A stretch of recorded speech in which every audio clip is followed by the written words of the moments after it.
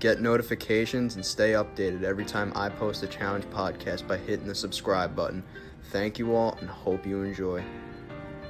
Yeah, no problem.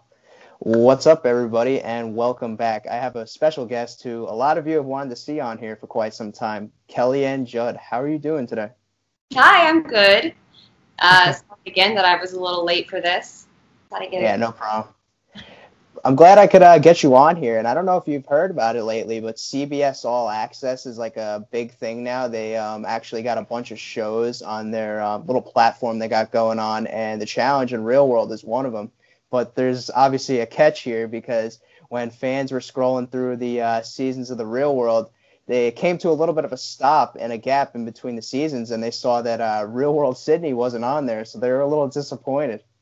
I know. I'm actually kind of disappointed on that one as well. Um, MTV Australia has has that one, so they have all of our rights. You have to. I, I've had people tell me there's a way to get it here, but I'm not sure. I don't think it's as easy. Yeah, yeah I, I was. That's something I kind of wondered about for a while because it feels like all the other seasons are like more accessible than Real World Sydney, and I felt like uh, your season, the Real World, at least from what it seems by many people, is kind of like the one one of the ones that uh, still has people talking and they like. So um, I was kind of surprised to not see it on there. Yeah, it was a good one. I mean, as far as the Real World goes, it was pretty entertaining. So was it your goal to get on TV, or was it kind of just like a snowball effect? Uh, no. Um, I always wanted to be an actress. Reality TV is not that, so I never really watched reality TV. Um, and, you know, I got on when I was 20 years old, and so very young for the show. Um, and so it, it it wasn't. I guess I'd use your uh, snowball effect. My sister was. We listened to it, like the radio station had it on, and it, this is when radio was popular, and they were like. Um, you know, hey, MTV auditions for the real world, come on, you know, down. And it was at a bar, couldn't even get in. And, and, um, and my sister was like, you should do it. And I was like, oh, I don't know, you know, like, do I want people to see me lose my mind? Know, she was like, you should just do it, you know. And I, and I so I at first went in just to appease my sister, and I didn't really think I'd get called back necessarily. Um, and when I went to a, to the audition, I had been partying the night before, you know, and I was wearing the same outfit and doubt I put any makeup on. Um, but had like the same hair, the same everything from the night before. I don't think I looked wrapped or anything, but I definitely didn't look my best. And um, and yeah, it was actually not. It was a long process, but it, uh, felt very natural for me to get on that show. And I remember right at the very end, right before they said like, you know, you're in. I, I I was in a fight with my boyfriend, and I'm like yelling, you know, just like. Aah! I was losing my mind, and I remember like I had this aha moment of like, no, really, like, you don't want people to see you like this. This is bad. You're going to be hated around like all of America and Australia, and uh, you should probably not get on the show. um, but I went, and it was actually really, really amazing because um, you're able to learn a lot about yourself and sometimes you might not like what you learn. Uh, but for me, since I was already so hard on myself, it was like I actually realized that I was a lot better than I expected. it was actually really good for me. was it scary then? Like, obviously, going there, I'm sure had to be a little overwhelming, but then, like, maybe coming back after filming, like, to, like, I guess you could call it, like, the real, like, life that you were living before going on TV. Was that scary, too? Yeah cute question. I like that. Um, yeah, I think it was scary getting on because I wasn't sure. You know, the first person I met was Cohutta, and he has this really strong, te- uh, not Texas, I'm Texas, Georgia accent. So I, they talk like this, and he was. I, I was like, are these actors? You know, like I wasn't sure if like I was being placed with actors, and um, and then of course, you know, you're gonna pick your nose, and they're gonna film you doing it, you know, and and so everything was a little scary, and the but quickly, like for me at least, within the first 24 hours of being filmed, you start to forget like the first 24 hours, like they're in your face. I mean, they're as close as they can be. It's not like that on the challenge really, because there's so many more people. But the first 24 hours, it was like, like they're taping you constantly, and you're going, what? Why are they taping me so much? Like I'm wake, I wake up to them in my face, you know, and you're just like, geez, I'm making a sandwich, and they're in your face, and it was ridiculous, you know. But then you get used to it, and you're just like, no, this is how life is. Life is a camera on you. And they start asking you about like every detail of everything you do. Like, oh, why'd you put your mascara on that way? And you're like, really? You want to know about my mascara? You know? And then you start to think you're a lot more important than you are. You know? so you can actually see how reality shows for kids is probably really bad. Um, when I got back, it was it was almost like more lonely. You know, you don't have that camera following you around. Um, I would talk about something and not have to look over my shoulder to see if anyone was listening. you know. So, so did you not go through like that phase of like maybe just like walking like in your local town and then like people recognize you and you'd be like, oh, she was on the Real World. Oh no, I did. It was was constant, and I was in Texas. I was in Austin, so it was a little smaller of a place back then. And uh, you know, I'd be walking down the street and people would be screaming from the balconies like, "Real World, Kellyanne!" You know, and it was lovely. Um, luckily, there was I didn't look as much like myself as a lot of people from the show. So like I would be walking with Cohutta, and Cohutta had like this whole like hat and shoes, and this he used to wear this choker with a like was it a a bear tooth on it maybe, and um and so he had like a whole outfit. And so people would like run up to him, and I'd be like holding his hand, and they'd be like, "Where's Kellyanne?" I'd be like holding his hand. So I think I didn't look the same. Like from I had bangs and I I got fake boobs right away. Not because of the show. It just was a huge coincidence. But um, so I think that I think that made it a little easier. So I'd get like some attention, but then I also didn't get recognized too much. And I feel like if social media, like I'm, I'm pretty sure MySpace was like a thing back like when you were on the real world. But like, could you imagine if like Twitter and Instagram were as prominent like as they are now back when you were on the show? That'd have no. been like. I would have probably made a lot more money. Though we actually made really good money because we got paid a ton just to like show up for an appearance for one night, and we do like three appearances a week. Real World Austin get like five a week that that was a big thing back when you were on Real World, right? Like you guys were going to bar appearances because uh, people tell the story on here a lot. Like there was like a, I feel like there was like a, a bar appearance for you guys like left and right. Weren't you guys on like tours and stuff? Oh yeah, and I was like one of the easier going girls on my show, so I got invited to all those things. Then I got all these food allergies, and I wasn't as laid, back anymore, so I didn't it.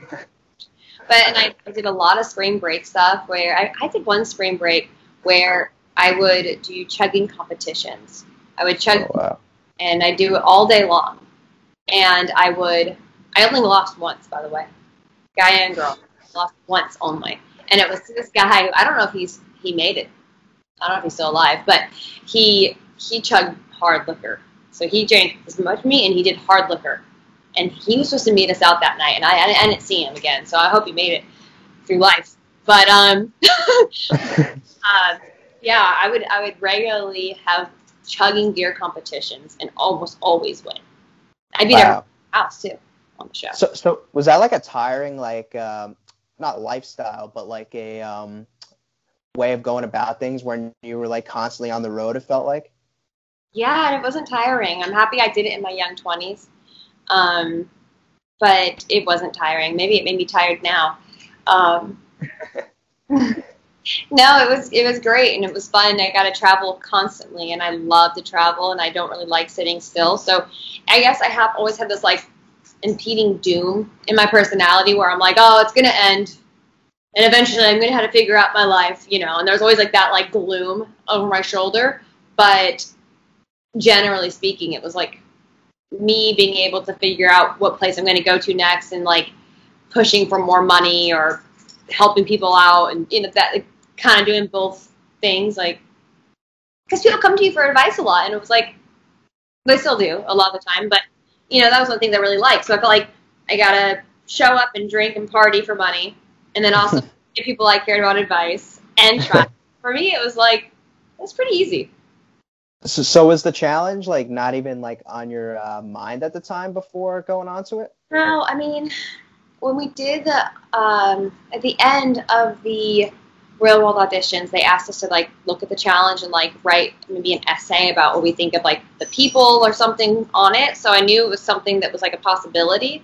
But again, I didn't really watch the shows, right? So I only watched part of Real World Austin because it was in Austin. And I hated Wes. And then I ended up dating him, so that's hilarious. Um, and and um, I watched a little bit of Real World Denver because it was on while I was doing my auditions. But uh, the challenge, I just remember thinking TJ's good looking, everyone else is a douchebag, and this looks terrifying, you know? and I, right. I always thought I wasn't competitive. I was like, I'm not competitive. I don't like to, to do anything competitive. It's stupid. And um, and then when they offered me to do the first challenge after my show, I I, I said yes because I was just so scared that I felt like if I'm that scared, I have to say yes. You know, kind of like scuba diving. I, am terrified of scuba diving, but I keep doing it because I'm like, someday it'll not be so scary. Um, and then, how did he get in the backyard again? Um, sorry. Um, um, and then, so once I made the decision to do the challenge again, I um, I realized by training, so I was like, if I'm going to do it, I'm going to work my fucking ass off, and I'm going to train harder than I've ever trained. And I would like, I was talking on the phone with this girl named Robin. She was on the island, and um, and she, she would always just be like, this person's going to be on, this person's going to be on. We'd all be doing the phone calls, and I'd be trying to figure out who it all is, and I'd be like, I think I could take her. I think I could take her. I think I could take her. I mean, I was literally researching past shows and like, this girl's scared of heights. This girl's scared of underwater. This girl's scared of this. This girl's a backstabber. This guy's a prick. They were all pricks. So I didn't. hey guys, and um, and so I really did my homework and I really worked out fucking hard.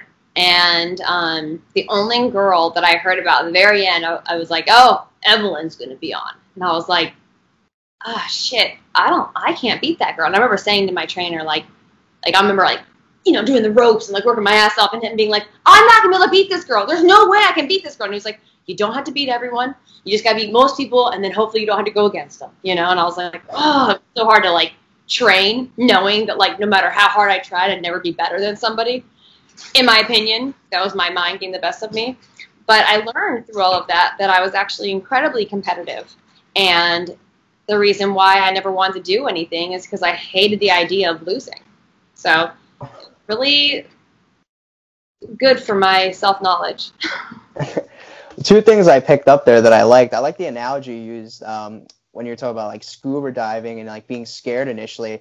Um, an analogy that I was going to use is like when you uh, said that you were initially scared to um, go on to the challenge and like that's kind of why you did it. It's kind of like when you're young and like there's a haunted house and you're scared to go in it, but then you're like, oh well, you know, everyone else is doing it, I'll just do it, you know. Um, but yeah, and you mentioned Evelyn too. How did um, you and Evelyn become so close on the challenge? Uh, was it kind of just like you guys were kind of clashing with the same people, and that's what like kind of brought you together? Partially, yeah. Um, we met on our in between flight, so you know everyone's like doing the separate flights, and then we all met. Now in the real world, you're like we had to hide out in a hotel for like a week, and well, because we had to get used to the time change um, and no one could leave their hotel. We never saw anybody until you're on the show. Or on the challenge, it wasn't like that. On the challenge, you're not supposed to tell anyone you're going on, but then like when you're on your flight, you either run into everyone at the airport on the way there or in your in between flight. So we met in Houston on an in between flight to Panama, and um, uh, sorry, I got really cold and I got distracted.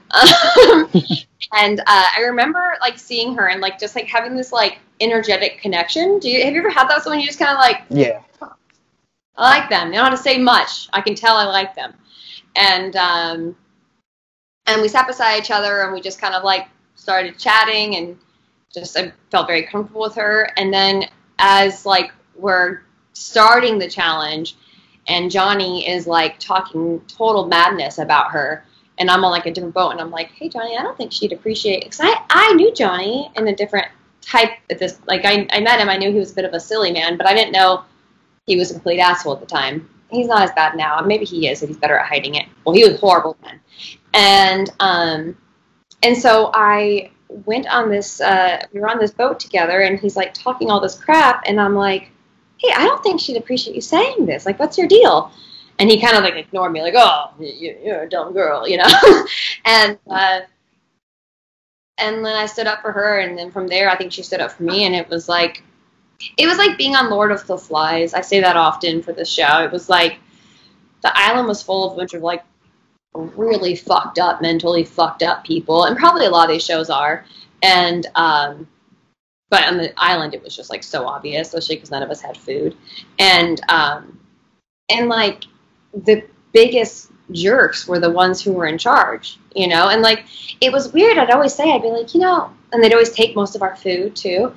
And I would say to them, like, you guys realize that, like, if this was like a real island and we were starving, like, we would kill you first, you know? Like, we would eat you and then we'd all feed for a while and then the next jerk would have to be eaten, you know? So I didn't really understand how in this community it didn't work like that, but uh, it was really hard to be the only one who could understand like what we needed to do to survive and try to explain to the others. And then, you know, they didn't listen, so that was our detriment. And that was going to lead into my next point too. Is I wanted to hear from your perspective now, kind of like what those conditions really like, at least in your case for the island, because I've had plenty of stories on here. Um, I know that some of the guys that uh, have I talked to, they were telling stories about them kind of like sneaking over into the production tank and like uh, stealing a bunch of like food and stuff. But what was uh, your yeah. island experience so like? Johnny stole food, and then then it was okay. Here's what's fucked. I'm sure they told you this. The production would put. The production would be cooking their food like six, same time every night, like six, seven o'clock at night. So we'd be starving. All we'd have is white rice, and sometimes they give us like you know, a fillet of a fish that we'd all have to share between 30 people. And like, I mean, it was mostly white rice. Like, girls weren't even shitting by the end. And, um, sorry. And, uh, so it was really torturous already. And then you'd like smell all this like delicious food being made right around you. And it was just like, it was fucked. Um, it was definitely a mind fuck for sure and it didn't even look that bad on the show. Like it kind of looked like we were like having like a vacay on the show, so it was actually a lot worse. And um, so Kenny and Johnny and maybe some others decided to like sneak over, and they did get a lot, bunch of food. Meanwhile, they were still eating our food too, so they were just double dipping. And um, uh, then they the crew found out and we all got punished and they had the lights on. So then they never turned the lights off. And so we had to sleep with like these like bright like football lights on top of us all night. So we'd like wrap our faces with our scarves and like go to sleep like that because they fucked us all. So we were very limited on food. There was really no way of getting food. I heard someone maybe met like a local person and they might have gotten him some food once, but that was just a rumor. I met a monkey. cool. but no food. Wow. Because I think that like a big thing that people always wonder is like, were these conditions really as bad as you know what people say? And I think that from talking to people, they really were. But I'm not sure how much of the last season you saw, but they actually had them living in a bunker. So do you feel like you having been on the island that would have prepared you like more than well to live in the bunker that they were in? Think that if I, I think because I was on the island, doing something like that would probably give me so much PTS that like it would probably be worse than like if it was your first time. You know, so I'd be like, this is actually the worst thing you think it's gonna be. Like doing it once is actually easier than doing it twice for sure. Doing it twice, you're like, it's like Bikram yoga. You know, like it's not like, oh wow, I did it once and it actually wasn't that bad. It's like, no, man. After like an hour and 15 minutes, the next 15 minutes is fucking miserable every time, and you know it. so, so I would say so it's actually would have been worse. Um, did they get food though? Because if they did, they were living it up. I'm pretty sure they got food. I mean, it didn't look that bad. It, they had like a uh, like a gym set and everything. They had a pool. Oh, like there was no sun. No, there was no sun. No, and that... I think it was it was in Prague too, so it was cold. And from what I heard, the bathroom broke on like one of the first nights. So like if they had to go to the bathroom during the night, they had to pull up, put on their coat, go out in the cold, and walk like half a mile to like a porter potty or something. No, that sounds fucking terrible. I think anything where I cannot see the sun is is terrifying. But would I choose the sun over food? I'd probably choose food. so, so now I want to bring it back to Evelyn again, which obviously the following season you guys facing that elimination. Did you know beforehand that she had plans on throwing it, or? No, I didn't know what she was gonna do. I don't think she knew what she was gonna do. And then she literally tortured me. I probably still have hip issues from her. Like I think that was actually my issues on my back are probably from her. Um, yeah, because she like I got I got her down on the first one. Like I don't think she was expecting it, and then when that was like a startle to her, she was like, "Oh, you're gonna try to get me down? Let's go, bitch!" You know, and like, like Evelyn, I don't think I can beat you. There's I've never thought I could beat you. Like, and I'm not saying I couldn't have like in some things. I'm sure there's some things that could have been better at her then, but like as a whole, I was never thinking like, "Oh, I got this chick." You know, like she's got it. She's good and I, I think that she had to kind of like show everyone and herself that like she could beat me. Maybe that was her insecurities, but um, or maybe she just wasn't really sure what she wanted to do. I'm not sure, but no, I was not sure. She tortured me. She made me earn it for sure. Yeah, because from watching it from like a casual viewer standpoint, I'm just like I obviously knowing how it plays out, and then watching it like after the fact, I'm like, aren't these two supposed to be like best buds? And then she's like putting her through all this like torture. I'm like, she didn't know what she wanted. I could tell. I mean, and there was like there was a little. Evelyn hasn't always been treated right, and I think that she wasn't 100% sure if I was a loyal friend, maybe even after all that time. I think she was still like a little nervous about it. So. So you think maybe like in the back of her mind she had like maybe that you wanted her to give you the elimination and then after the fact you wouldn't like be friends with her or I don't know. I don't know, but I do know that earlier in the season there was a little like uncomfortableness with yeah, some rumors that like I went around saying that I thought I could like beat her or something and I was just like dude, that just sounds insane, you know? doesn't sound so I don't know if maybe she was like believing those rumors and I'm sure they were put there from someone like conniving, like Susie or something, that was like, hey, here's a good idea. I'll just, uh, you know. but now, what about that gap though? Because obviously, uh, the ruins, you took like a pretty like lengthy. Yeah, I said no to 14 seasons.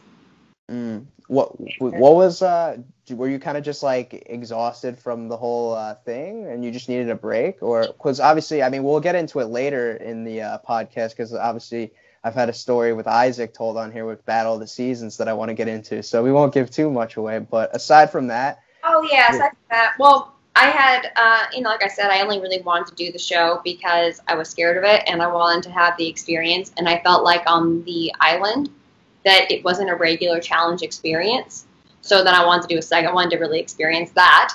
And it was just these, it, it is really wonderful to see how far women have come in the past 10 years. Um, men don't really talk to us the same way on average that they did 10 years ago. And that's just in 10 years. And that goes by like this. So whenever I'm feeling like overwhelmed about where women are at today, I think about where we were at 10 years ago and I go, well, fuck it. We're getting better at least. We're not going backwards. And um, but at the time it was really hard. I had to go to like therapy afterwards because they were so awful. I mean, I'm telling you, I've, I've, I've never experienced such crazy, awful people. And so I think my heart was just a little soft for the show, and it wasn't really like it wasn't like I was trying to get fame from reality TV. I really wanted to do acting still. I really wanted to do writing. And I knew that I probably couldn't do acting right after doing the shows. So I was like, I'll take a long break from being on TV at all someday maybe I'll do acting and I'll get into writing. And um, and then that's what I did. Yeah. So, so would you say like it was more so the people and just the environment, or like yeah, honestly, maybe MTV, MTV was um like the way you're portrayed, like just women in general. Because I, I feel like that's kind of a thing too. I feel like men are portrayed like in a much different light than women are, and like they get away with a lot more in general life and especially on MTV. I think that MTV is doing better since BLM. I didn't really see them do a whole lot from the Me Too movement. Um, I don't really, I've never really talked about this publicly, but they, um, you know, they've done some stuff that is pretty dishonorable. Like I mean, it's it was it's pretty dirty stuff. And um, you know, they were in a lawsuit after the ruins, and the girl who was suing them won. And it was kind of hard because like no one would help out that girl, even though they knew that she was mistreated because they were scared of what MTV would do to them, you know, or the consequences for the guys. And um, and that was that was pretty tacky, and it was kind of hard to be like a part of something like that. Um, but you can make excuses for other people and other, you know, I did. I can make excuses. So I was like, well, you know, maybe they're not so bad, or eh, who knows. And so I just was like, I know it makes me uncomfortable, but I'm, I'll pull away and not really talk about it. Um, and then after I went back and I, I, I watched how they they betrayed me with um, some other stuff that wasn't the way it went down. Like they made my cousin look like he was throwing something that like was being thrown by the other team, so we had to throw it. It was it I always kind of thought like the cool thing about MTV is that they at least don't make up lies and portray people in a way that's not true. And that kind of was how it was in the past. They were obviously kinder to the men. They gave them a lot of ups and things like that, um, the white men.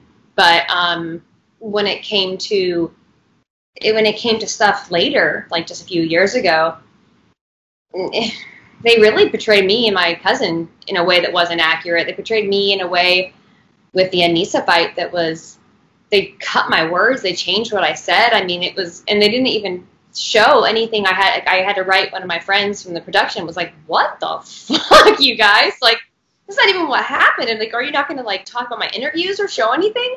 And like, "Oh, we'll give you time at the reunion," which they did, thankfully. But like, no one, no one even barely watches an entire episode fully. You know, very few fans are like glued to the TV thinking about what actually is happening. Most people are watching all cooking or playing with their kids or yada yada, and so are smoking. You know, they're half paying attention, and they're watching just like one clip that you decide to show and make it look a certain way that wasn't what happened. And now, what they're gonna wait five more episodes and then be like, well, let's see if that part comes up on the reunion. Like, no. So like on the reunion, Aneesa addresses it. It shows like kind of what actually happened, but it should have never been portrayed that way in the first place. And it was for me, it was like they put my character and my future at at risk. They obviously don't care about how it hurts other people. They're kind of calling Black Wolf, in my opinion, it's like saying, uh, calling. It's kind of like when girls go around being like, "Yeah, you know, I got raped," and they didn't, and then all the girls who are getting raped aren't believed because these girls do this. It's like you're portraying something that didn't happen, and now every time it does happen, you're not making it as easy for those people who are actually getting mistreated. And so it was just, I don't know, it was really dirty. And after that, I just kind of thought, I'm letting my name, it's not like I'm an actor who's like the villain. This is my name, and you're making me a villain for things that aren't even accurate.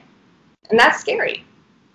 So, so, were there any conversations off camera about like kind of how that was um, twisted with you and production or you and Aneesa?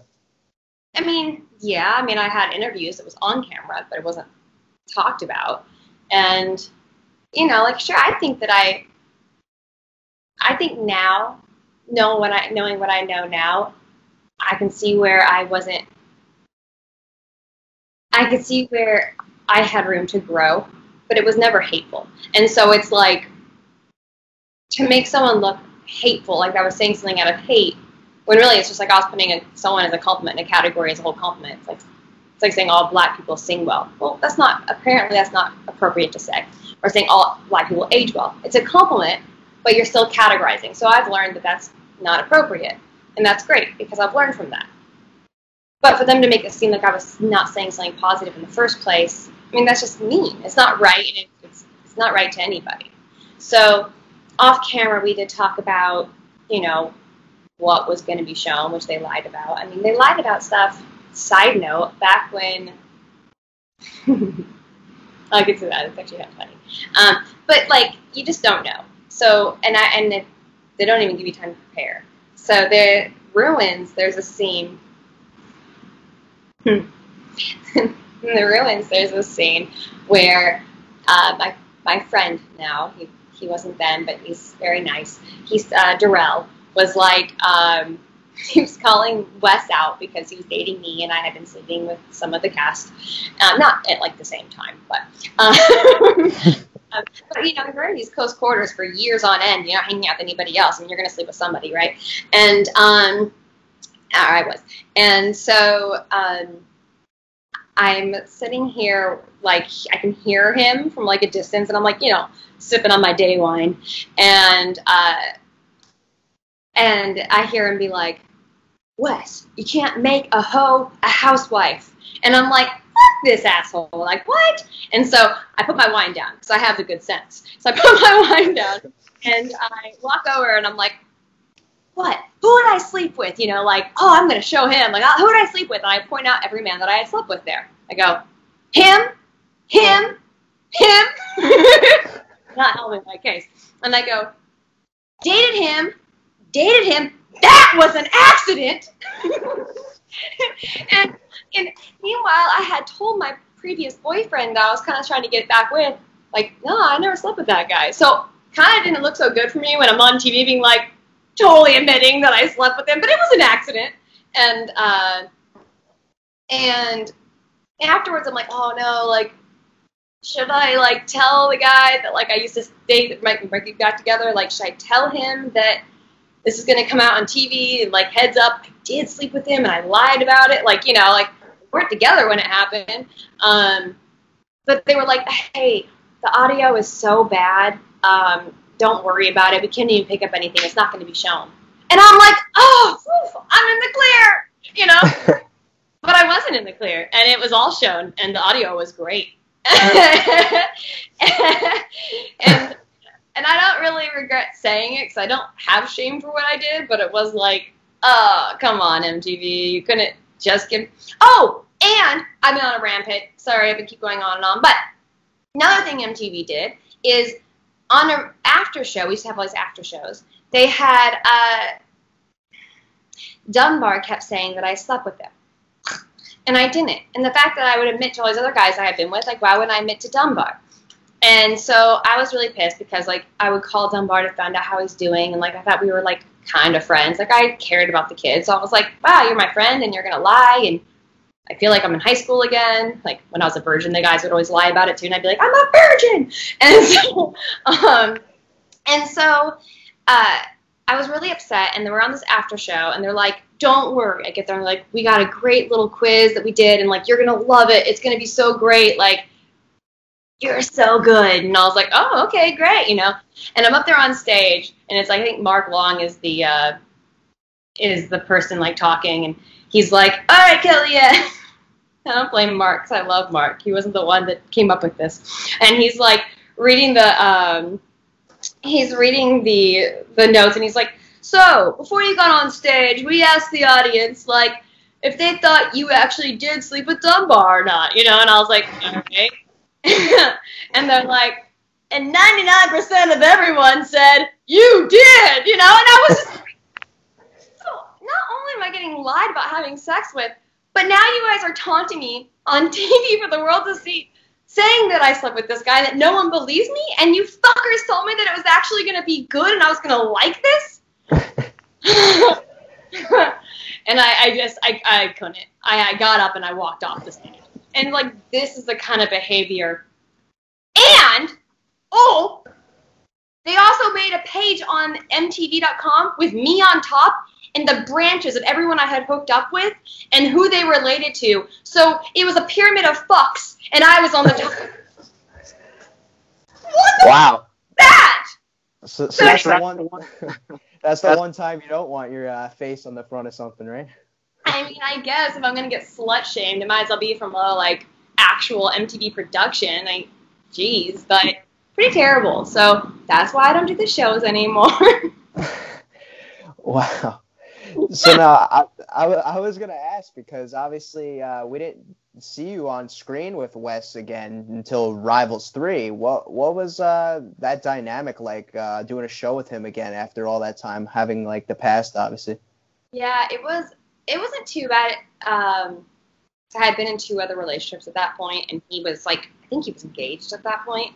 So, um, I, I would say the first like night or two, I was like do I still have a crush on this guy? You know, like in the past, I'd seen him a couple times since we had broken up, and I was always like, oh god, you know, this guy's rough. And then the first couple days, I was like, oh shit, like this sucks. He's engaged, and think I had a boyfriend, and I was like, I kind of have a crush on him. I'm in a house. That's kind of sucks. And then by like day two and a half, I was like, no, no, I don't. This guy is the worst. so. How, how did that whole thing kind of come about in uh, anyway? Because I think you mentioned earlier, like uh, at the time when you watched Austin, you didn't really uh, have uh, too. Yeah, he just seemed like this like nerd who got picked out of like a hat, and now he thought he was cool, you know. And um, and he does look a lot better when he shaves his head. Just a side note.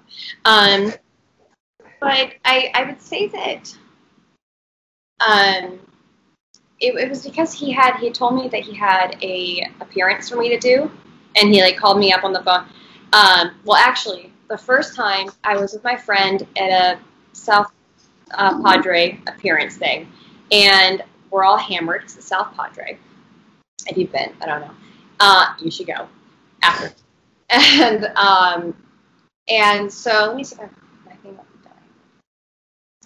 dying. Um, so we're at a South Padre appearance, and Johnny Bananas and Wes are at one spot. Maybe Nehemiah was there, and then I'm with my good friend. And I'm like, oh, we're gonna. I heard they were at the spot, and we were gonna be at the spot next door. And I was like, oh, hey, I'm gonna run in and tell Bananas and them. This is before the island, obviously. I was like, I'm gonna run in and tell them that we're next door and they can come party with us. And I come in there and I have like my hair extensions in. They were clip-ins because that was popular then. Long hair, fake lips, and tits. So I'm afraid of nothing the same. And um, and I'm like, hey, like it's Kellyanne. You guys should like come next door. And he was like, oh no, no, I'm not a fan of Kellyanne. And I guess he was thinking I was saying like Kellyanne's next door, and I was like, no, man, it's Ke- I'm Kellyanne. But it was loud, and he was like, yeah, no, I'm not a fan. I'm not a fan of hers. And I was like, the fuck? And then like I'm like trying to tell him like, well, you're not a fan of mine, of mine, you know. And then he uh, is like trying to explain himself, but he's hammered. He's kind of talking with his mouth like this. And uh, and Johnny comes up and he's like, "Hey, Kellyanne," you know. And fucking Wes's face, I'll never forget. It was like, "Oh shit," you know. And he was like, "I'm so sorry," you know. Like he kept like apologizing to my friend. And so we leave. My friend's like, he felt really bad, and I was like, "Fuck that guy!" Like now he feels bad. I was like, I, I respected him more when he would say it to my face, but now I just find out he would say it behind my back. Like, what a bitch, you know? And, uh, but then after that, I think he must have wanted to, like, contact me, because I was looking good, even with my big fake lips. And so he, he, um, he reached out and said he had an appearance, and we ended up talking, and he was telling me all about his business plan and how it was like really good for the environment and I was a super hippie, still am. So I was like, oh, cool, like let's talk about that. And then we just became really good friends. And I hated Johanna on the island. She was a complete awful human. And so uh, we really connected on how much we hated Johanna, and the rest is history. I, I'm still surprised that on Rivals Three, like the producers didn't like do like some sort of like pan back moment and like bring up like because don't like for as much as like they love their storylines, like I feel like I'm surprised they didn't like bring that to light. They did ask us. They said um, when we were doing the soccer challenge, which sucked. well, it's soccer. Um, turns out I think that actually is a thing. Um, but blind soccer, I mean. Um, but they asked me like before I went in, like, "Hey, is it weird to go against your ex-boyfriend?" And I was kind of like, I wasn't going to give them anything because I wanted to be respectful to his fiance, and so I was like, oh, I was like, "What do you mean? We dated like seven years ago, so no." you know, I tried to make it like very like, nah, not weird at all. Seven years ago, so. Uh, but I will say, I really was pissed at him because he didn't cheat on me technically, but it's up for debate. When he hooked up with this fucking chick from Fresh Meat, Teresa. Teresa. Yeah, uh, I I will correct you with the way you say it because um, when I found out, instead of him saying yeah, no, I, I did do that, he just kept correcting me on how to say her name. So I was like, you fuck some girl named Teresa, and he was like Teresa, and I was like Teresa, Teresa, and I was like, why the fuck does it matter what her name is? So, anyways, it's Teresa. Um, he did. He did. Wow. On camera. So you, so you guys were, because I think I saw that in one of the episodes when I was rewatching it. Um, you guys were still together on when while he was doing Fresh Meat too. I wasn't the best girlfriend. I was young. And uh, I was also in another state, and I was kind of like, ah, you're annoying, and I want to party.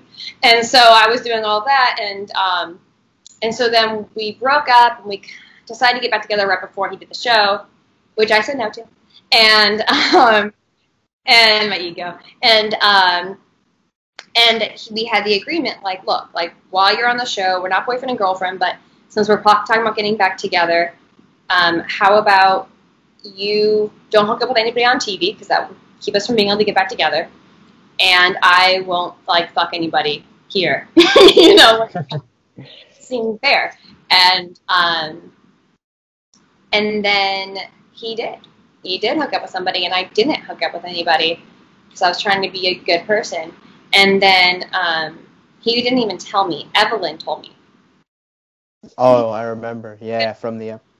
he was going to tell me at one of his friends' weddings we were going to. So he wanted to tell me at the wedding so I couldn't leave, maybe. Oh my god. And then we agreed, and then I stayed with him. So we, I was like, he said it was just a kiss. Hi. Um, so he said it was just a kiss, and he, I was like, you know, I really don't want to watch it, so I can forgive you because, like I said, I wasn't perfect before. So I was like, I could forgive you if, um, if that's all it was, and I, and I don't want to watch it. Just make sure that like you've told me everything because I'm gonna find out. That's not Booby. There you go. Um, I'm gonna find out either way, so you might as well like tell me because it would be stupid for you not to. And he's like, "Oh, I told you everything," you know. And it was like episode one, and he was like, he was like, uh, my friend calls me up and she's like, "Did he tell you about all of this stuff and the things he said?" And like, I mean, this guy was like giving her compliments, like, "Oh, I could just go on and on about how great Teresa is," you know, like. She's just uh, the show would have to end by how much I like like her, and it was just like it was not a damn kiss, you know. And uh, and so I asked him. I was just like, hey, like, eh, I heard this. Like, do you want to tell me? And instead of being like, yeah, sorry, you know, he was like, well, if you can't handle it now, you're not going to be able to handle it later because it got way worse.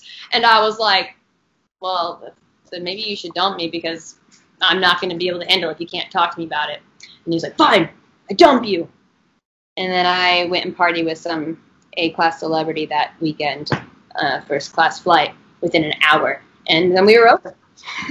Uh oh. Who who was this uh, first class celebrity? Can't tell. But I brought my. I remember like I got off, my roommate was like, You wanna go to LA? She's like, Yeah. Message my friend and he got us first class tickets within an hour. And and then I didn't respond to Wes again. That we were bringing up Darrell and Teresa both because I don't know if you are aware or not. They both just got like confirmed that they're going to be uh, returning on this upcoming season of the challenge. Oh. That's funny. I didn't know Teresa even I didn't know anyone actually knew who she was.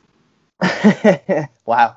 Yeah, she actually had her uh, her own gap too. She uh, this is six years since her last challenge, so yeah, she's gonna. really like the best on the show either, right? I mean was she? Eh, yeah, she was she was on the same fresh meat as uh, Laurel and uh, Cara Maria. So uh, we were just talking about Teresa. Yeah, she was uh, she was on the same fresh meat as Cara Maria and um, Laurel. So she always was kind of playing like that third fiddle kind of like um, role, I guess you could say. So then now it's kind of crazy to see like her coming back after all this time and how she's currently on and Yeah. Well, I'm kind of curious about it because I mean, I didn't. I've only seen her on Fresh Meat, and I didn't think she was that impressive physically there. I thought she was okay, but not compared to like some of the other characters. Um, but then I think I mean I think I saw her like a glimpse somewhere else. But was she known for being like super athletic or like some like beast mode chick? And doesn't she? Or did I make that up? well, I'm sorry, what was that? Doesn't she have a kid? Yeah, she is too actually. Very cool. Yeah, she uh, she was kind of like known as kind of like a like more underrated, kind of like under the radar type of because she on her last show that she did was actually because we were just talking about you and I. Her last show that she did was uh, X's themed, and she was partnered up with Wes. Mm-hmm. So that was kind of like her uh, coming out party, I guess you could say, like in terms of like performance. That was like her best season that she ended up uh, putting up. They did pretty good, but like they, you know how like at the twist work, they kind of um, had like one of those uh, redemption twists where like because I think Bananas and Nany were teamed up that season, they got eliminated, and then they ended up coming back and it like screwed up Yeah, their I game. saw- I did see that. I'm gonna turn this light down. Um, yeah, I, I was a little. Oh, you can't turn this light down. Okay, all right. Um, I was a little uh impressed that um she could put up with Wes because he is really hard. Like he does not listen to anyone but himself, really. Like sometimes maybe a guy, but like I tried telling him many things where if he would have listened, he would have actually stayed longer on the ruins. And he just he has such a hard time like thinking anyone else is right. So I do give her props for being able to deal with him. I, I'd be interested to see how she does because I don't know. That's a lot on your body. I wonder if she's been training. I see. I see that Paula has been training a lot. Yeah, Do you think she uh, she's thinking about coming back or no? I think so. I think that whole uh, Mark's uh, OG thing is uh, possibly getting pushed Did, her. did you get uh, called for that? Yeah. Uh, yeah, and I actually might. I mean, like I said, I don't like the production and everything, and I'd have to find out. Um, and now that I'm talking shit, they might not even want me there, which is fine. Um, but you know, the last time the actual MTV had asked me, it was a couple years ago, and they said, "Hey, do you have a boyfriend?" And I said, "Yeah." And they go, "Is he on TV?" I said no, and then they never hit me up again. So I don't know if they were doing like some like um, exes or relationship idea at that time, or if they were just like, "Yeah, you're you're not single, you're no fun." I mean, I don't drink anymore, so I'm sure they were just like, "She doesn't drink, she's not gonna fuck around." so was that was that after uh, the whole vendettas thing when you went out there? Yeah.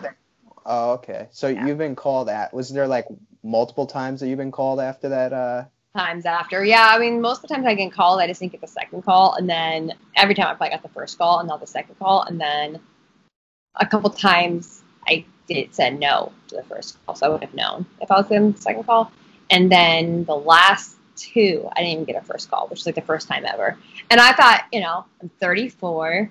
The only time I ever really got in a fight with anybody is either if they started it or if you're like really hateful to women.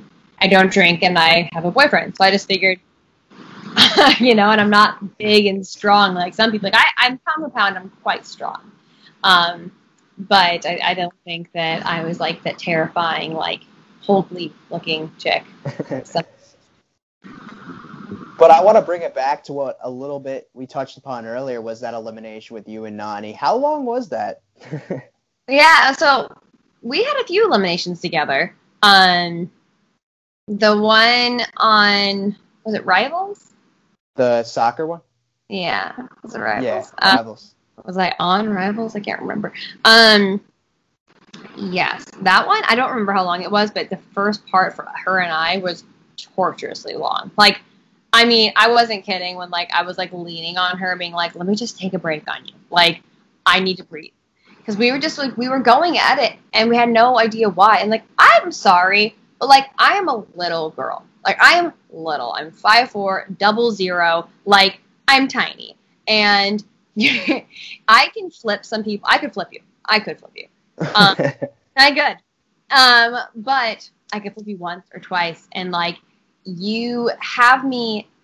If you have me blindfolded and I don't know which direction I'm supposed to go, and we're just like t-boning people over and over, like it doesn't make sense. And I would have to like, in order to get some ground on you, I have to get low, put my big old, I have good broad shoulders, put my shoulder in it, and I flip you, right? Like that's how it works you can't do that in the soccer. So like she was able to like really manhandle me in a way that like I couldn't do back because I wasn't as big, and if I did it back, you'd be able to tell. And so that was hard, but it didn't even matter because really we had no idea who was supposed to be going which way. There's multiple times that I was right next to the net, and Wes has a way higher voice than my partner did, Jamie. And so higher uh, voices carry better, and everyone's screaming in the back. They didn't tell them, like, "Hey, you guys can't talk," because MTV sucks. And so, uh, so, so they're sitting here like screaming. I can't hear anything that anyone's saying. And so I can hear Wes only talking to Nany. and I'm just like trying to do whatever he's telling Nany to do and do the opposite. So he's like, Nany, you want to go right? I'd be like, all right, so if Nany wants to go right, then I want to go left. Okay, you know, like everything. And and then like, you know, poor Jamie, his strong suit, my strong suit was better with communication for him, and his strong suit was just do it, right? So like he could not communicate with me, and so he'd be like, go this way, go that way, and I'd be like, I don't know what the fuck that means, you know, I'm blindfolded. so infuriating. Um, yeah, it was so infuriating. But the challenge will teach you that you are not in shape and that you need to do more cardio, or at least that's what it taught me every time. um, my dog's barking at me. She's just barking because she hears me making. she's she's neurotic too. Um, but like now, like I got a chiropractor, like you know, spine surgeon, and they'll be like, "You ever got in a car accident?" And I'm like, "Well, technically, I've been in like a hundred things that would feel like a car accident on my spine, like what Evelyn and I did." on the ruins would definitely be the same damage as like a major car accident, you know? Wow. Oh yeah, you're, you're you're not holding the rope with your hands. You're holding it with your wrists and your ankles. So you're having to use your structure of your body to like pull. You're not using your hands and your arms. You're using your rib cage. You know, your so uh, it was a constant uh, a beat on those shows. Like you're getting, and you don't see them I don't know if it's for legal reasons or what. Like you think it make the show better, but like you are rarely seeing the, the like the pain and the like fucked up things people are getting on a regular basis on these shows. For some reason, they just don't show it like they need to. Wow. That's weird. But yeah, I want to ask now because obviously your last show you did, you were partnered up with Jamie, who happens to be Cara Maria's cousin, and she's actually been on my show before, one of my more favorite episodes. And I noticed that you guys are kind of pretty close, right? Was that kind of? Uh, did you guys become friends through Jamie, or before, or after? How did that work? No, um, I thought she was just the worst on my. So I thought she was just the worst. She was so stressed out the whole time I told her that I wasn't going to put her in, and I literally, with my cousin, she was like, "Are you going to throw me in?" And I was just, I'm too honest. This show's the worst for me. I I just cannot keep my mouth. I just feel guilty hurting anyone's feelings, and I say everything. It's terrible. And so I'm like, like I might have a problem, like actually like medical condition that I'm too honest. And she's like, she's like, uh, "Are you going to throw me in?" And I'm like, "No, like I'm definitely not because I, I'd rather Johnny and his cousin go home because then you'll be there at the end and I have a way better chance of beating you then. you know, like I like said it like, no, I'm not throwing you in because I want to use you as a layup later, you know? And then she got me out, you know, and I was like, oh, right, yeah, smart, you know? um, so she was the worst at that time. And then, um, and she was going through a lot with like Abram and everything. It was not a good way to like meet somebody. And then I hated Jamie. He was like said the worst things to me for no reason. He just seemed like, and he was you know dealing with her stress. So like I met him, and when his partner was someone who's all stressed out, so like he was just like exhausting, you know. And so like when I came on to Rivals, I was like, fuck this guy. Like if he sucks, I'll just go home. I get paid either way. Like I'll just fucking go home, make his life miserable because he could barely get paid. And um, and then I think it was like after like a week of being in there together. Like, I'm not saying him slutting it up with Ashley was like what made me like him. It wasn't, but it was hilarious, and I super appreciated like lax Jamie who have fun now. Like, fuck it, you know. Like, I'm having a good time. Like, I'll do my best during the challenge, and I got my partners back, but like. I'm gonna have fun while I'm here, you know. And I saw a whole new side to him. He super had my back, and he was just like a genuinely good friend and person to be around. And I didn't think that I could like switch from having so much to despise towards someone to like damn, like I wish I could call him right now and hang out with him, you know. and so that kind of did open my eyes up towards Cara. And then, um, but I did see like even on the show, the first show when I hated her, I still like there were times when like I would see her like in this like cute, lighthearted like spirit, and I'd be like, ugh, it's just she's so adorable. I wish that like she didn't suck so bad, you know. And then I got to know her, like we did a couple, we did an appearance um in Chicago together um, with Brad, and she was very fun there. And Kyle was there, eh. and um, and then um, I decided to do a road trip when COVID hit, and I was I'm part time living in Denver, part time in California, and so I'm in Denver, and I'm like, man, I really need to get the fuck out. So I was like, I'm gonna go and get I rented the RV and took my dogs, and I went to Montana, and I was like driving along, and I was like, I should hit up Cara Maria. I wonder if she's around. Like I don't even know her. Like I barely know her and she was she was with her her bae, and I actually knew her boyfriend Paulie before, like prior to this, and um, and I actually like Paulie. I mean, I don't know all the stuff like I when everything happened with Cara and that whole like crazy stuff came out, I was like more like, oh fuck Paulie, I like Cara, but fuck Paulie. Um, then when Cara was like, no, he's cool, and you know yada yada, I was like, all right, if you like him, I like him, and he was like super nice to my dogs, and I always liked him before, so I'm fine with Paulie. Um, but I, I hit her up and I was like, hey, like, do you want to, um, do you want to meet up? And she's like, you should stay at my place. I have a whole guest room. I don't mind if your dogs are here. And I was like, my dogs are huge. Like, are you sure? And she's like, no, it's totally fine. Um, and she just showed me like the best time. And it was like this like genuine connection right away. I felt super comfortable with her. Um, I honestly think she was one of my favorite people I've hung out with in 2020. Like, for sure. Yeah. I mean, she made me feel just like a close friend, but also just like kind of like brought this like fire up in me that I haven't had probably since Evelyn in my life. Like, like just like this. I don't know. She just made. Like, I felt like I was more active. Like I hadn't been in a long time just from being around her. You know, it was like. Anyways, she just brought like a really good side out in me that um, was a really beautiful change to see of her. So mm-hmm. um, I think certain people are hard on the challenges because they're that's what they are. They're a challenge. Um, and for me, it's like I probably don't change as much, but that's why I don't win. you know, I'm like I'm gonna be the same person, and you guys can just you know do what you do, and then uh, then there's people who can just turn to like beasts and you know go in beast mode, and I feel like that's that's her on the challenge, you know. So yeah, I don't know if I answered your question because I don't remember, but love Jamie. so would you say that like fans time to time are kind of like hard on her though? Because I feel like she's, I'd say it's safe to say she's a pretty polarizing figure. Like there's like I feel like there's no in between. You know, like I feel like a lot of times she gets like a lot of flack on whether it be social media that I feel like sometimes isn't deserved. Sure. I mean, well, I think that's kind of everybody, right? Anyone who is popular is also going to be disliked, you know, every time. Um, but she does. She she.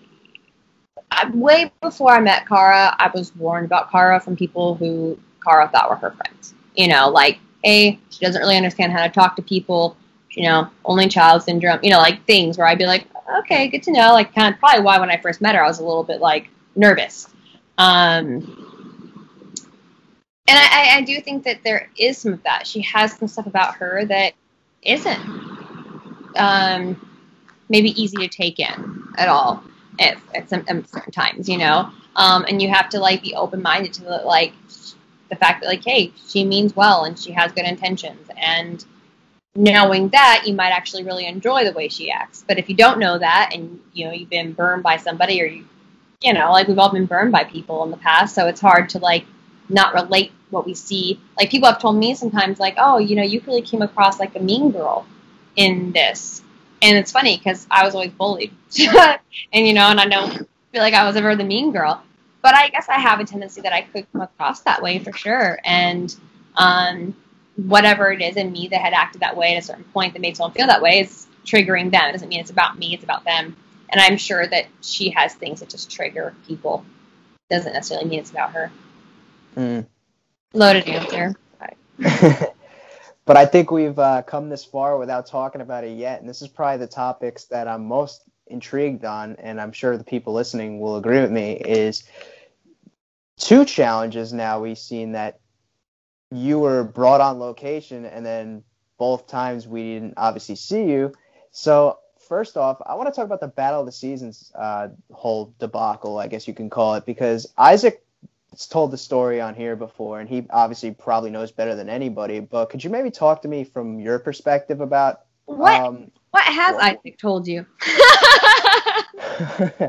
well, from what he told, he told me, me? Um, you guys were there, and then I think that they uh, had you all correct me if I'm wrong. Um, we're all waiting on a bus for like a really long time, and then they pulled uh, what was it? You, Dunbar, him, and Ashley into uh, the one room, and then told you guys that uh, one of you guys has a medical condition, and that yeah. you guys. Can't.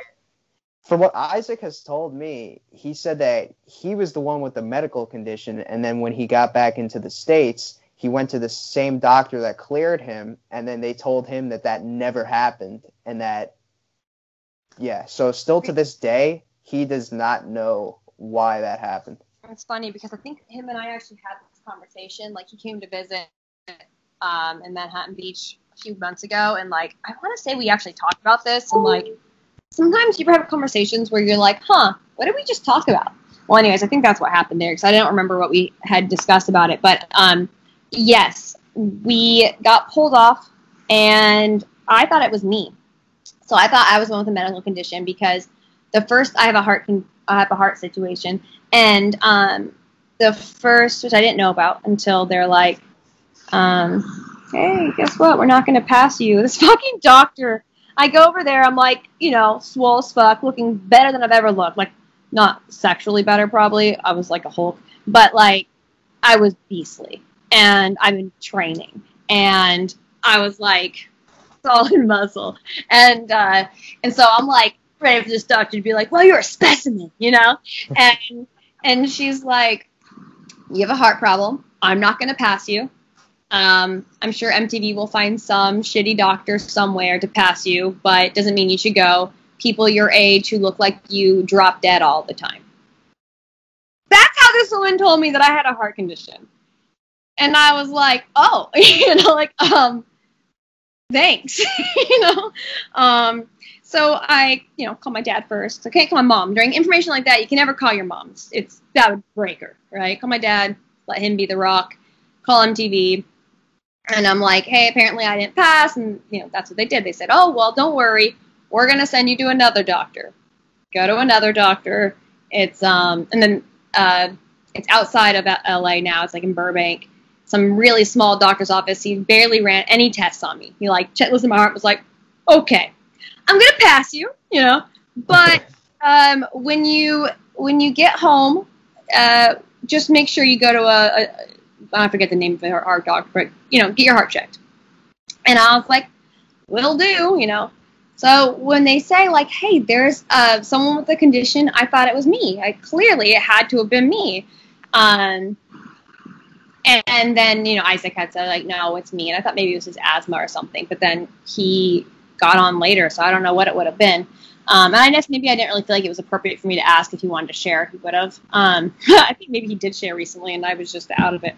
Um, but we get there. I'm like hanging out with Melinda, who was like my total like, you know, girl crush. And I mean girl crush in like a non-lesbian way, but like a like want to be your friend kind of way. And I was like, these scenes are going to be sick, and um, and we would have we would have kicked which is so annoying. Well, not with Dunbar. To be honest, Dunbar was pretty dead weight. Um, he, he was, but um, but we had done pretty well. I would guess, and um, and Isaac would have been okay. I think, yeah. Him and I, Isaac and I would have been solid. And so, um, and so when they tell us we get off, and you know they're like, oh well, we'll figure out your guys' pay, and I was like, fuck you, you're paying us everything that you're supposed to pay us, you know, and they were like, well, we'll figure that out, and I was like, yeah, you figure that out, but I'm also gonna figure that out, and like I contacted Wes's uh, lawyers, I contacted Wes's mother, and hit her up right away and was like, hey, they're saying they might not want to pay us. could you send me the lawyers that because he used his lawyers to get everyone more money like a few years earlier, and then they did, and we had the contract sent out, and MTV paid us in full. But then after that, I think they hated me a little bit. Uh, Isaac said that like all you guys came in, like you, him, and Ashley were all in like the best shape of your lives. Like you guys were like ready to go. Like, did you Yeah. guys? and you guys- in shape too, but he was just he's a loon, so. Did you did you guys uh film like the whole intro because they had like the um intros where they would like line up everyone from the cast and like say like the I think we were about to. I think we were about to film the intro. Wait, no, I think first what we do is we usually talk to TJ, and we are about to do that, and then they send us out, and then usually it's like the next day you do the intro. The next like couple days you do the intro after oh, TJ. wow. Mhm. So then Vendettas years later you go to location and obviously you weren't used for that one either. Which one were you more bummed out about not being used Uh, for? You know, I think I was most bummed out about the first one because um, I really did train, and um, but I, I wasn't really even certain I wanted to do it. I was like in this like eh, place, you know, um, but I still was pretty bummed out. And then they tried to get me the one after that, which I don't recall which one that was, and that's when I was like, nope, I got to take a break, acting time. And he was like, I could do it. You said I could do it like a for uh, Justin Booth, the producer at the time, was like. But you said that uh, you would do it like six months ago. Why don't you do it now? And I was like, I gotta stop at some point, and I'm stopping now, you know. And then they started adding people from like all over areas because they realized that if like we said no, they were fucked and they had no show. Um, and I never liked the shows. And then when I finally went back, I mean, it's known I've talked about it that Diem Brown had, um, she had been like doing all these shows, and she'd always be she was like my biggest fan. She would always be like, "Do it, you gotta do it, you gotta do it," you know. And I'd always be like, "Diem, it's just the meanest thing to do yourself. Like, why do you hate yourself? Don't do it." And uh, and then you know when she knew she was like had a very very small chance to live, she decided to do another show. And for me, it just felt like I was kind of a dick that I wasn't taking advantage of something that like was given to me when someone who wanted nothing more like to than to be alive was willing to do it. And so that's why I went back was for Diem. Um, but um, it wasn't the, my favorite show. Um, you know, I had like mini panic attacks even thinking about doing the shows at that point. And like I remember telling my cousin, like, "Are you sure you want to do it? Like, it's kind of terrible." And he was like, "I was like, and you won't get paid that much. Like your first three, you don't get paid that much. I think is how it works now." And he was like, uh, "No, no, I'm in." You know, and um, and it did bring us a lot closer, which is great. Um, I feel like you asked me something. Oh, the second one. So, ooh, sorry, you're gonna edit the fuck out of this. Um, so the second one, which one was that that I didn't make it in for? Vendettas. It was Vendettas. Okay. Well, it was. It was Vendettas again that I, I was supposed to be on. Well, the first one was Battle of the Seasons, and then Vendettas was the one where you, Derek, and I think uh, that was when they used Victor instead of Corey. Yeah. so we hung out with Victor for like the first eight hours, and then he went in, and then we got Corey. And I gotta tell you, like, I couldn't have asked for a better group. Like me, Corey, and Derek fucking had the best time in Spain. Like I didn't regret it at all. I still got paid for showing up, not as much as I wanted, but like I needed the money, and it was like this like I was going through this hard time, and so it like was perfect. I got a free trip to Spain. I'm going back as soon as I can, and um and I convinced everyone. Oh, and I'm with these two hot ass dudes who are treating me like kind of, but also like a queen. So I was like being treated like a queen sister, um, and like such good arm candy to walk around Spain in. It was like me and my two hotties, like felt like such.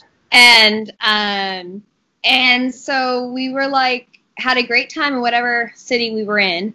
And also uh, Nany's sister was with us because she got sent home right away. And what's his face? Uh, big guy Rogan. So we had a great time with them. He was like one night me and uh uh what's her face? Nany's sister, um Nicole. Nicole. Well, Nicole was like I don't know, we were hammered. We got in a huge fight. I don't even know what. And oh, it was crazy. And Derek, did Derek ever tell you? Have you talked to Derek before? Not not personally, no. Okay. He he had to throw me over his shoulder to take me to bed. I don't know. So maybe I was fighting and then like he threw me over his. It's funny because I really don't fight when I'm drinking or when I'm not, but when I do, it's woo. And so um throws me over his shoulder. He takes me to the bed. He takes me to his room because my room he's I don't have my key, so he throws me. There's two beds. So he throws me on one of the beds, and then he gets out. and He tells me how there's like fucking it's wet all down his chest, and he like pouring them, and he's like, "Did she just piss on me?" And I did. He threw me over his shoulder. I pissed all over his chest. Oh, he handled it well. And um, but then you know he got me back later, not with pee, but was like, "Yeah, you owe me one," and we had to party really hard because of it. Um, but so we did the wherever we were in Spain with them, and then I convinced them all, but not Rogan, to go to Ibiza. That's how you're supposed to say it. Um, to Ibiza to um, for like the weekend or something, and it was the last like party weekend of the whole, you know, season, and so that was awesome. Uh, Derek was completely smashed the entire time because he was like super sober training mode, and as soon as he, he was getting picked, he just got just just fucking. Par- I mean, his eyes were behind his head the entire time. He didn't remember sh- getting there. Like he is literally shows up and wakes up in Ibiza because he's like like so fucked up, and we convince him to go when he's fucked up. And he like wakes up and he's like, "Where am I?" And I was like, "You're in Ibiza," and he was like. oh my god, you know, like didn't even remember. And poor like Virgin Corey is like just hanging out these devil people. And um and so then we're there and I try to convince them all to go to um Barcelona with me afterwards. But we did we had a crazy night. Like we were like I forget I'm not good at remembering things, especially names of people and DJs, but like some very famous DJ. It was the last night and we partied ass. Like I mean like fully raged the entire time. I can't remember who it was, but someone good. And then Tiesto maybe. And then um and then I went to Barcelona with Nicole and then Nicole went home after like a day or two and then I just kind of traveled around for a little bit by myself and then I came home. So Oh, yeah, it was good. So, so would you were you like uh, maybe excited to do that second one that you didn't get onto that most recent one Vendettas, or were you kind of just like, ah, you know, I'll accept and like, see- for it. I wasn't even training. Like I was, I had, I got sick the last couple years with uh, heavy metal poisoning, and so this is right before I got super sick. But I was already kind of feeling like off, and so I wasn't training as hard as I used to. And then, like right after that, is when I found out I had heavy metal poisoning, and I was like bedridden for almost two years until recently. So. I'm like just starting to work out again, and when I say just starting, I mean like I'm thinking about working out again, and um, and and so um, but it started in here um, and so it, it, I wasn't really disappointed because I guess I was like my my my butt hurt a little bit, you know, like really you chose all these kids who like don't even live up to like how I saw myself, and then you don't choose me, and I'm right here, uh, you know, like my ego was burned, but no, not I didn't care. so, so would you say like that challenge chapter for Kellyanne is like all but um Gone. closed? Yeah, it's gone. I mean, I would do like maybe like a mini challenge. You know, like a champs versus stars, Yeah. like a spin-off.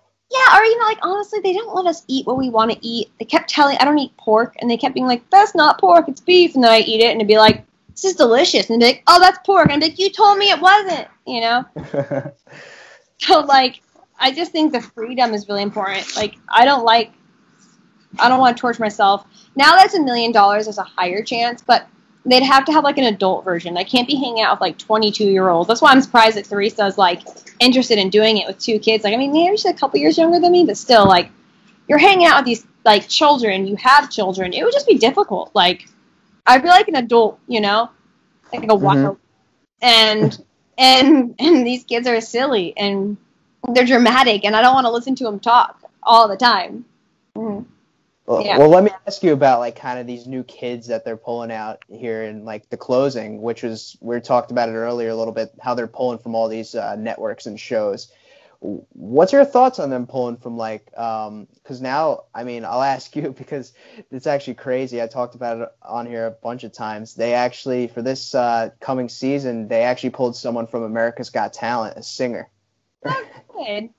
yeah I, mean, I don't know where they're getting their people from and i hope that they're getting i think it's great.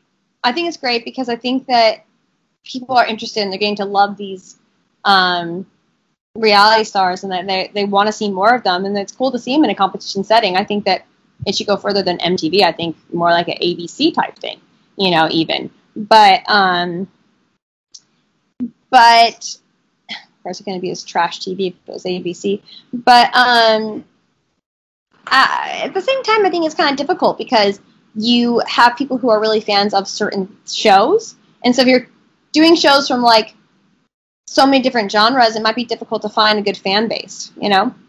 So I'm curious to see how that works out for him. But I love it. I love the people from the other country. I, I love all of it. Like I, they're hilarious. I enjoy watching them. Eh, it makes me feel better when I'm not called because I'm like, well, I'm nothing like, you know. Any plans to uh, watch the season potentially? It uh, airs a week from Wednesday. Yeah, I mean, last night I watched part of it because Derek wanted me to do a podcast, and I had to like watch to like say what I thought of people. And I'm sure I'll, I'll be open to doing it if it's like on. But I still sometimes do get a little anxiety watching it, like. and, and, I guess yeah, you know, my ego does still kind of get stung a little bit, so we'll see. well, I actually do my own after shows on here, and Nehemiah um, has joined me as well, so the invite's open for you in the future if you want to hop on here with uh, maybe me and Nehemiah both, then we could. I Uh, to do it with you and Nehemiah. Nehemiah and I have a good time together. I actually was just messaging him earlier. well, uh, thank you again for joining me. I had a ton of fun chatting with you, and I hope you did too, uh, reminiscing on some uh, maybe old times, right? Yeah, it was fun. thank you, and uh, have a good one.